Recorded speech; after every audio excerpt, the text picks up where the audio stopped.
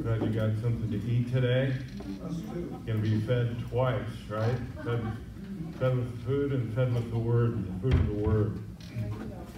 Last week I, uh, yeah, sorry, I didn't get Bibles out, so if you want one, they are in that cabinet back there on this side. Uh, and yeah, if somebody wants to grab some and maybe distribute some, that'd be great. Uh, last week I mentioned this Chad Bird, who is part of a group called 1517.org. Uh, so that's the, the, year of the Reformation, and it, uh, these are Lutheran theologians, and he uh, uh, likes to tweet things out, uh, and he likes the Psalms. This morning he said this The beating heart of Psalm 23 is the title. Psalm 23 and of course, we know that's the one, the Lord is my shepherd, right? It has 55 Hebrew words in it. What's fascinating is what forms the numerical center of this psalm. At the heart of Psalm 23 are the words, For thou art with me. There are 26 Hebrew words before that phrase and 26 words after it. What's more, in the verses leading up to that phrase, the poet speaks of God in the third person he does this and he does that. But when we get to this numerical center, the psalmist transitions into speaking to God directly in the second person. For thou art with me, thy rod and staff thou dost prepare. The abiding presence of the shepherd with us, whether we're in the valley of the shadow of death or surrounded by enemies, is the beating heart of the poem. So, thought that was interesting. Yeah. It's interesting how numbers work out, sometimes in the Bible. Okay, so we're going to start uh, with uh, uh, someone would please, if someone would read verses 1 to 4, uh, the first part of verse 4 that ends with words. Would someone read those four from the translation on our handout, please? The heavens declare the glory of God, and the work of his hands, the firmament, firmament announces. Day by day it pours out speech, and night by night it declares knowledge. There is no speech, and there are no words. Their voice is not heard. In all the earth their mind goes out, and to the end of the world their words. Okay. So the psalmist begins by asserting that the creation proclaims, speaks, and imparts knowledge. we hit this a little bit last week, but what do you think he's getting at here? What kind of knowledge does, do the heavens speak out? There's a creator.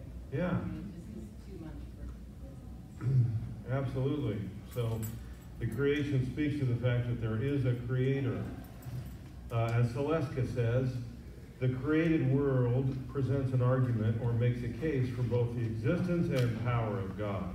And last week we looked a little bit at Romans chapter 1, verses 18 to 23, which said God from creation has made it plain that he exists, and so therefore no one has any excuse to not believe in God, right? And as we looked at last week, uh, Psalm 14 said, The fool says in his heart, There is no God. The fool being someone who is just kind of opposed to God stubbornly, right? Even though there's all this evidence for God uh, right in front of their face. Uh, the heavens tell us not only that there is a creator, but they also speak a message about God, our creator. Uh, what do they tell us about him, do you think?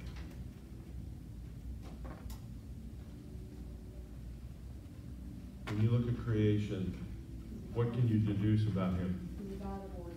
A God of order. Certainly. Things work really well, right? Every day that sun comes up, uh, just as it always has, right? For, for ages and ages. He's also powerful, isn't he? A God of power, a God of wisdom, and a God of glory. And you can just sense the, the, the praise in these verses, even as they describe uh, what's happening. Okay?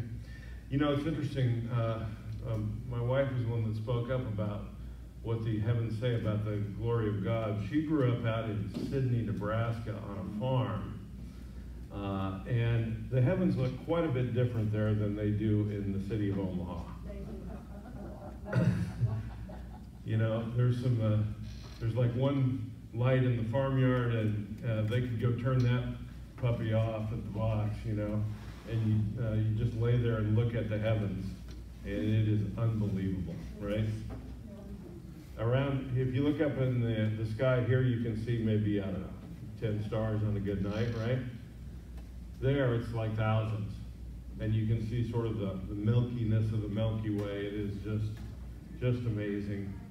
Uh, and yeah, so if you grew up on a farm or if you're from the country, You know. grow up on a farm, but I grew up in western Nebraska, yeah. Yeah, well, even living in, in Chadron, you can't see the stars like you can see them out there in the farm, right? Well, Yeah. I- At I could see it too. Yeah. But back in those days, there were no lights at night at all, right?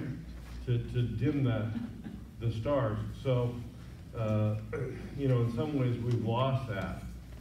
Uh, and we're a pretty urban society. Something like three fourths or 80% of the people live in cities. And so, uh, in some ways, this witness to the, the glory of God and His creation has been obscured by urban living. Uh, but there's still a lot of other evidence for God as well. Verses uh, 3 and 4 tell us that the speech that the heavens make is without words, but it still goes out to the ends of the earth. Okay?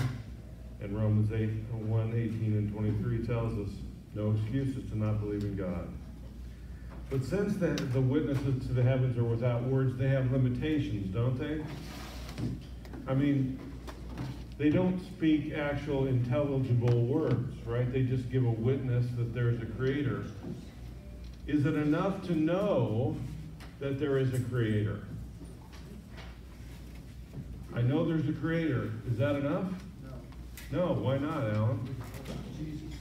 You don't know about Jesus. You don't know much more about the creator than he exists, right? How does he feel about us? Can I have a relationship with him? Uh, and we know that we are, you know, how do I deal with an accountability to such a creator? Um, what does he know about us? All these kinds of things. Uh, and, you know, one of the things about creation that witnesses to God as well is the fact that we have a conscience, right? Uh, you know, when you were uh, when you're a kid, you do something bad, nobody's around, you still know it's wrong, right? I remember one time one of my, one of my friends uh, stole a, a baby bird out of a nest or something, you know? Uh, and the mom was chirping at us, and I'm thinking, that was wrong. You know, that was wrong that we did that. Uh, and I felt responsible because I was with her. So, um, so yeah, we need to know more about the Creator and and how do we deal with this accountability we have to Him? Uh, because our conscience tells us there's a right and wrong, and we're often on the wrong side of that. So would someone read uh, from the end of verse 4 that starts for the sun through verse 6 from the translation on our handout? For the sun he has made his tent in them, and it is like a bridegroom coming out of his chamber. It rejoices like a mighty warrior to run forth. From the end of the heavens, it, it is it going forth, and its circuit is to their end, and nothing is hidden from its glow. Okay, thank you. So the reader has been pondering, you know, the implications of considering the heavenly body as preachers, right? you you got that first metaphor, and now you've got two new ones. You've got the sun is itself a bridegroom who comes out of his tent, okay, and a mighty warrior who rejoices to run his courses. So uh, now we've got new images to deal with, and, and says, I can sense David's excitement, right? Uh, powerful emotions communicated here about the sun, its beauty, uh, the joy of uh, the provision of the sun, the excitement and the eagerness uh, uh, of creation to do its work, and even the love of a bridegroom. Okay, so there's a lot uh, coming at us here. Um, the bridegroom is an interesting image, and we'll talk about that in a minute.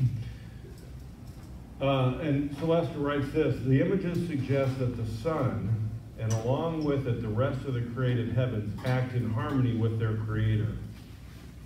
The sun does its work willingly, even eagerly. It is happy to do just what God fashioned and desires it to do. Now, the sun obviously is inanimate, right? So it doesn't have those emotions. But this is just, I think he's getting at it, reflects that God's creation does what he wants it to do, and it does it every day, and it does it well, and it seems as if it's eager to do that, right? Uh, so uh, he is really rejoicing in creation. Like I said, every morning that sun comes up, right? What a what a beautiful time if you're up in the morning to see that. Uh, and to me, it's a time to just really give thanks, right? I remember when the uh, when the COVID pandemic hit, uh, and everybody's thinking, what are we in for now, right? And I came in one morning and I'm sitting at my office and I'm looking out towards Millard South and the sun was coming up. And I thought, you know, this isn't a bad day. This is the day that our Creator's still on the job. And the sun came up and we still have life and we still have Jesus. And I actually posted about that that day. so uh, creation uh, is something to give thanks for, thankful for. You, you take time to rejoice and give thanks for creation. you take time out of your busy life. We talked about living in the city, you know, where we're not surrounded, we, we can't see really the full glory of the heavens because of the city lights. But there are things that we can notice, right? There are a lot of things that we can notice uh, just sitting out in your backyard and enjoying uh, the creation. So, so feed your spirit. You know, this. I think this psalm is encouraging us here to feed your spirit with wonder at God's creation, and that's why it's good to read the psalms uh, because they get you into that mindset, right? Uh, that all things were made by God. They're very good. They're glorious. They're opportunities for praise. So, good habit to be in, reading the Psalms. The image of a bridegroom, we talked about that just a little bit. A frequent one in Scripture, right? The prophet Isaiah writes in chapter 62 As the bridegroom rejoices over the bride, so shall your God rejoice over you. Okay, so this speaks to God's love for his people. Uh, let's take a look at a few other passages. Who would read Matthew 9 15 for us? Would somebody raise their hand? Okay, Jay, you got that one. Jesus said to them, And the wedding guests mourn as long as the bridegroom is with them. The days will come when the bridegroom is taken away from them, and they will fast. Okay, thanks, Jay. So Jesus talking about himself as the bridegroom, right? The people were saying, Why are you not following all our rules with your disciples? Why are they, you know, why are they not doing what do we do? And Jesus says they can fast later after the bridegroom's taken away. So Jesus is uh, talking of himself as the bridegroom. John 3 29. Would someone read that? This is John the Baptist talking. Bride belongs to the bridegroom. The friend who attends the bridegroom waits and listens for him. Has full joy when he hears the bridegroom's voice. That joy is mine, and now complete. Okay, so John realizes that his ministry is pretty much over, and people aren't going to be coming to him anymore. They're going to be coming to the bridegroom. And who is the bridegroom? Jesus, right? And he says, I'm like the friend of the bridegroom who has joy at the bridegroom uh, with his bride. Okay? So John knew what his role was, and he talked about Jesus as the bridegroom as well. And then Revelation 21, verse 2. I saw the holy city, the new Jerusalem, coming down out of heaven from God, prepared as a bride, beautifully dressed for her husband. Okay, the, the new Jerusalem at the end of, the, of all things, coming down as a bride prepared for her husband. So that the people of God, the church is the bride, God is the bridegroom, uh, and the bridegroom loves the bride so much that he would do anything for her. Matthew 25, 1 to 13, I'll let you read on his own. Uh, that's the parable of the virgins and their lamps awaiting the bridegroom. So Jesus, once again, using that metaphor of himself as the bridegroom who is going to come back. Uh, and he, he, says you want to be ready for that. Uh, let's take a look at Ephesians 5.27 to help us understand how this bridegroom image, what it suggests about God's love. So Ephesians 5, 25 to 27. Somebody read that, please. Husbands, love, your wife just as Christ loved the church and gave himself up for her to make the body cleansing, uh, cleansing her by the washing of water through the word, and uh, present her to himself as a radiant church without stain or wrinkle or any other blemish, but holy and blameless.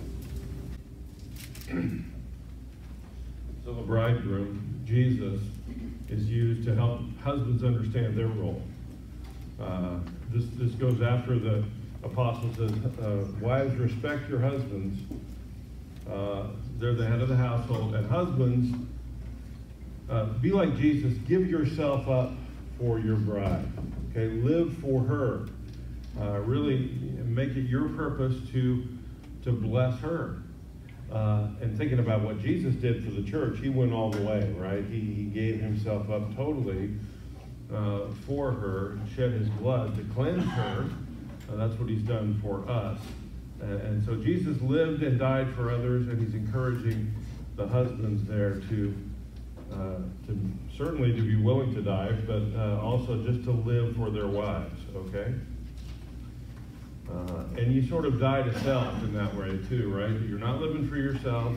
You die to kind of the sinful desires to be served, uh, and you serve. And that's true of pretty much any vocation in the Christian life.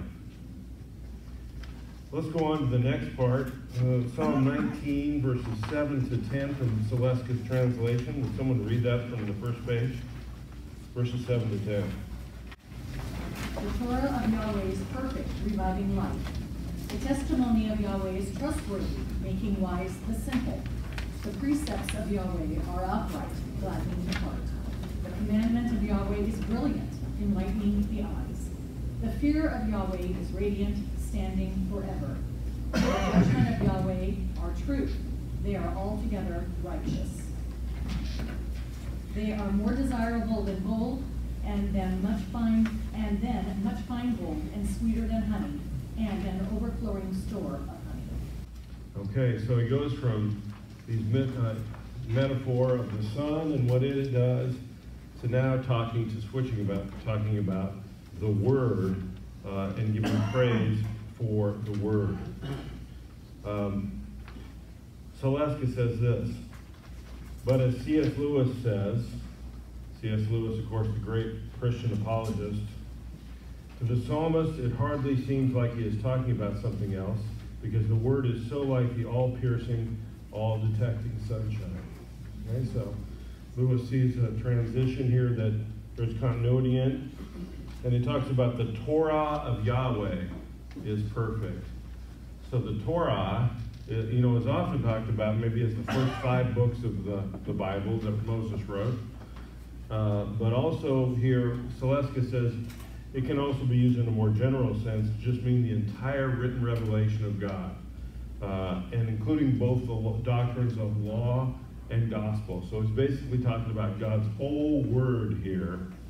Um, and um, uh, then he kind of goes more, more narrow from there, talking about more about the law. You know, things like verse 8, the precepts of Yahweh, the commandment of Yahweh uh, and the fear and the judgments of Yahweh. So he's really talking about, you know, the, the, the, the law of God. Uh, and Lewis uh, is uh, very mindful about how exuberant David is here about the law. What does he say about it, right? It's, it's trustworthy, it's upright, it's brilliant. Uh, and he says, I have a little hard time tapping into that much enthusiasm for the law. Because what does the law do? The law is not it's really not good news, right? The good news is the gospel uh, of forgiveness. Uh, the law really, uh, you know, he's, well, I, I can understand, he says, how you can assent to it, respect it, uh, and try to obey it, but I, I find it hard to find how you can be, how these things can be delicious and how they can exhilarate. But the psalmist, David, loves the law of God. Why do you think that is so? How can he, how can he love the law of the Lord? God's word. It's God's word. It brings you back to where you need to be, and David knew he needed that often enough. Okay, so it has a purpose. It has a good purpose. He sees a good purpose in it. Okay? How about his relationship to the lawgiver? The Bible says he loved him with his whole heart. Yeah, he loves God. He loves God so much that he loves even the law uh, which, which accuses. Sorry. So he, it, it, it's a it's a love for God that includes even the love for His Word. Okay, he loves God and recognizes God's will expressed in the law is good. Uh, and there's actually uh, Joyce hit on it. The purposes of the law are good. Okay, so what does the law do? Okay, number one, it shows us our sin. And, and that, in that way, it acts as a mirror. Okay? It also acts as a curve to curb evil. Okay? So everyone's got a conscience, uh, and you know that if you do something, you're going to be accountable to God. Uh, so it basically restrains. Yeah, what does a curb do, right? It keeps you from going off the road. Uh, and the third thing is really more once you're like David and you love the Lord, what does it do for you? Not only accuses you, but guides, right? It guides you. So how am I, how am I to live? I love the Lord God. He sent his son to die for me. Now how am I to live? Well, here God tells me, right? He tells me a lot of good things that, that I can, if I follow, I know I'm going to be walking in his ways. Okay? So the law is good. And St. Paul will say that too. The law is good and perfect, even though he knows that it accuses him, that uh, you know that he's a sinner. He still knows that the law of God is good. Uh, and but this love for the law can really only come from, I believe, truly understanding God's grace, right?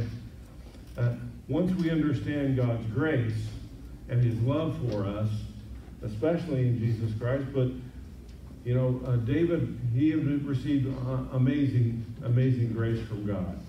When, as you think about the life of David, when most of all did David receive God's grace? Maybe after the Bathsheba incident? Yeah. Yeah, so he, he sins horribly. You know, he, he sleeps with uh, one of his soldiers' wives. They tries to cover it up, and when he can't cover it up, uh, he gives orders to have that soldier put in the front.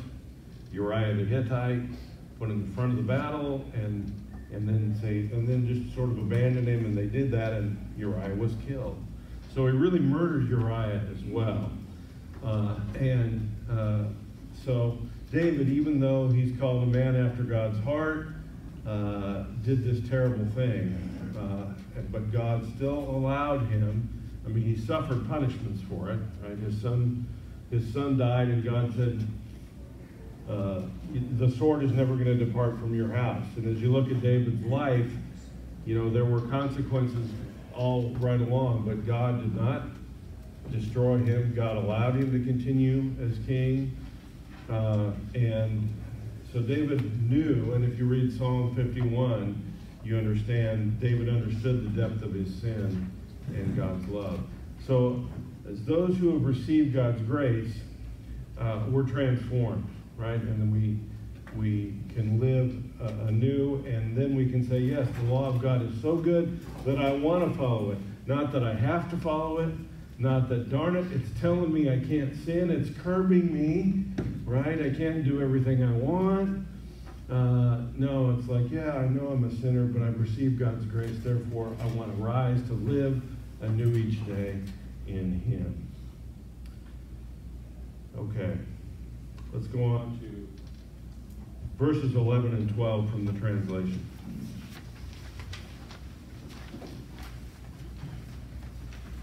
Someone read, please. Yea, the servant is enlightened by them, in keeping them there is great reward. Transgressions, who can discern? From hidden faults, acquit me. Okay, so Saleska writes, in light of the brilliant perfection and beauty of the law, he, the psalmist, becomes aware of his own imperfection, right? He says, I'm enlightened by this law, and I know that I've got hidden faults, I've got secret sins, uh, and God knows everything about me, right? Saleska says, it's like he has walked into a formal wedding reception dressed in dirty jeans and a wrinkled t-shirt. In our culture today, you probably get away with that. uh, but uh, generally, it's not a good idea. All right, even, even while praising the law, the psalmist feels exposed by it and pleads to God for cleansing from inner and hidden sins. So we all have sins that no one except God knows about. Right? God knows all, and He still loved us. Uh, and He sent His Son to cleanse us for every single sin. God loves you so much that you can't even really understand it or sometimes comprehend it, but it's true. Uh, so we all sin in ways that we're even unaware of as well, right? Uh, and that's why Martin Luther said, Lord, forgive me of all sins. He says, you, you don't have to remember each and every sin, because the Catholic Church at the time, or the church, was teaching that if you didn't confess every sin, then it wasn't forgiven. And Luther's going, how can you know them all? I'm so sinful that uh, there's some I don't even, I'm not even aware of. Okay, so he just says, just trust that God forgives and We'll ask him to forgive the sins you don't even know about. Okay? So Saleska also says that the speaker here knows there's part of him that he holds back from Yahweh. Okay? And that if given free rein, he will not follow Yahweh, but do the very opposite. We can relate to that, right, in our sinful nature. And Saleska says the inner tension created by competing loves is the constant experience of all God's children on this side of the second coming of Jesus Christ. Paul gives his own description of it in Romans chapter 7. Let's take a look at that. Romans 7, verses 14 to 25. Somebody read verses 14 through 20 for us. We know that the law is spiritual, but I am unspiritual, soul is a slave to sin. I do not understand what I do, for what I want to do, I do not do, but what I hate, I do. And if I do what I do not want to do, I agree that the law is good. As it is, it is no longer I myself who do it, but it is sin living in me. For I know that the good itself does not dwell in me, that is, in my sinful nature. For I have the desire to do what is good, but I cannot carry it out. For I do not do the good I want to do, but the evil I do not want to do, this I keep on doing. Now if I do what I do not want to do, it is no longer I who do it, but it is sin living in me that does it. Okay, so this this struggle that he that he, that he sees going on, and he sin as this sort of force that lives within him that he doesn't want to rule over him, but yet he finds it cropping up again and again. Right? He says, "In my," uh, and he go, goes on a little bit. Uh, let's read the rest of this through verses twenty-five, verses twenty-one to twenty-five. So I find this law at work. Although I want to do good, evil is right there with me. For in my inner being, I delight in God's law. But I see another law at work in me, waging war against the law of my mind and making me a prisoner of the law of sin at work within me.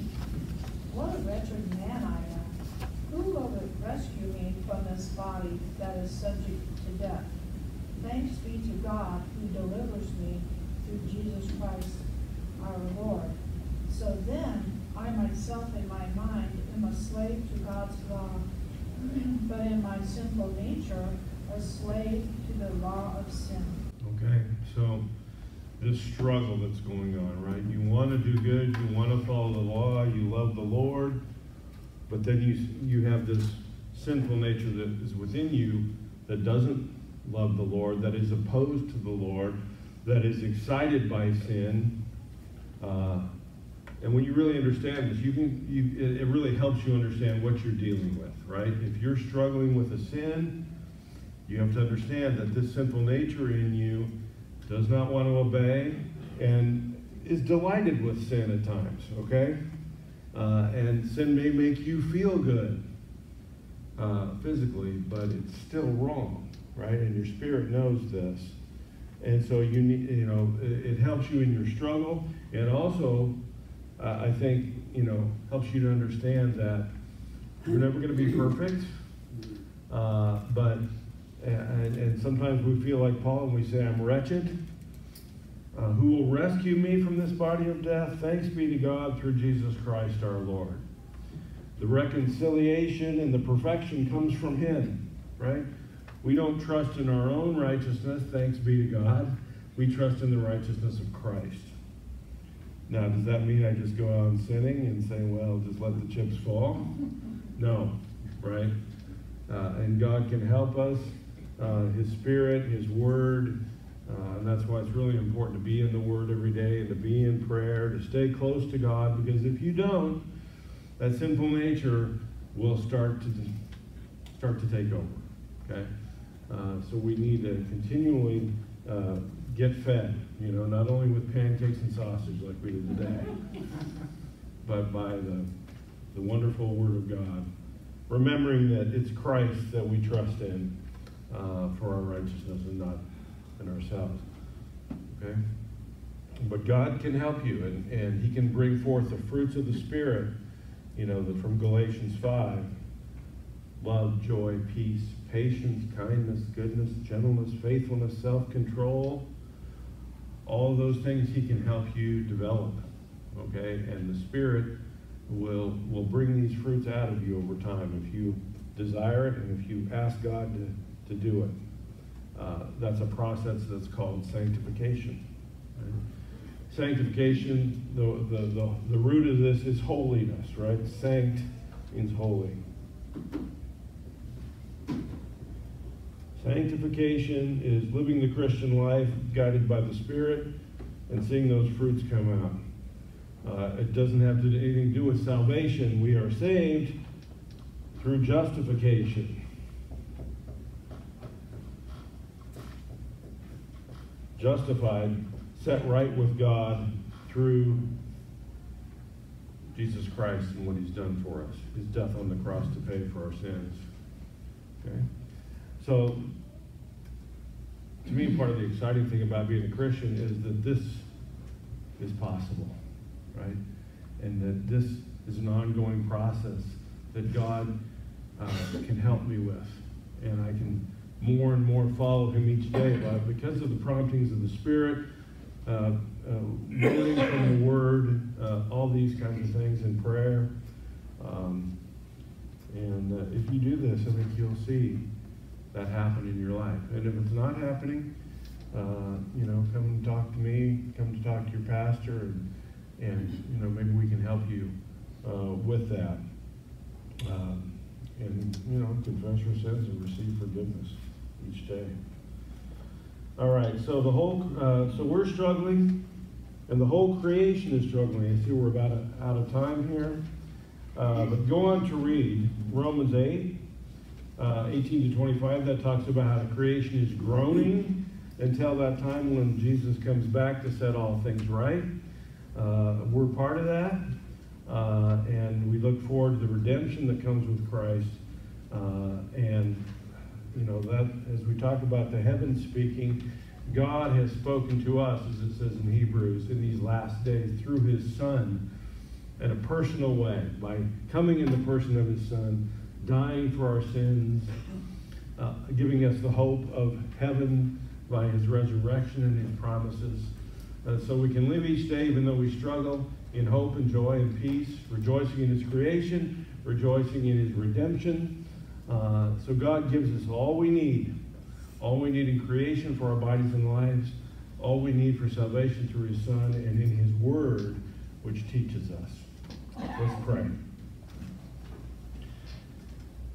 Lord Jesus, we thank you for your Father, uh, for your goodness to us. Father, we thank you for your fatherly goodness in sending your Son. Uh, and Lord, just help us each day to rejoice, to rejoice in your goodness, to bask in the grace that we've received through your Son. Uh, and help us, like David, uh, just to, to respond in love for you uh, by living uh, for you each day, living uh, for others, not living for ourselves, uh, trusting you uh, and following you more and more each day. Uh, we thank you for Jesus, the one who cleanses us from all our sin. In his name we pray. Amen. Have a great week. Next week we're going to do Psalm 22.